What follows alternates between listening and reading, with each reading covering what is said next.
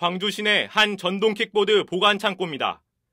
전동 킥보드가 터지며 삽시간에 불길이 치솟습니다.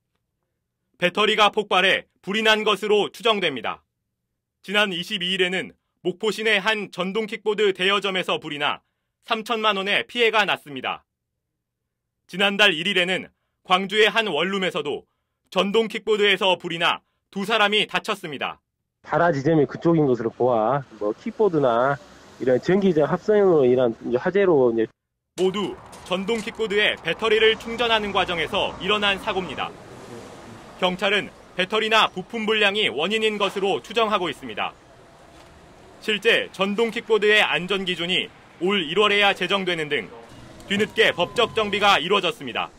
지금 판매되고 있는 것들은 아예 법이 없었다고 보시면 돼요. 그쪽으로 배터리 쪽 시험이 없으세요.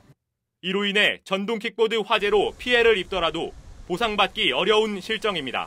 전동 킥보드의 경우 소비자를 위한 안전 기준이 마련되어 있지 않아 화재 발생 후에도 원인을 규명하기 힘들어 소비자가 보상을 받기 어렵습니다. 전동 킥보드가 레저용이나 출퇴근용으로 각광을 받으면서 사용자가 빠르게 늘고 있습니다.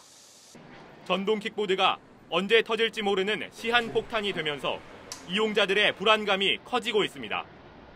KBC 최선길입니다.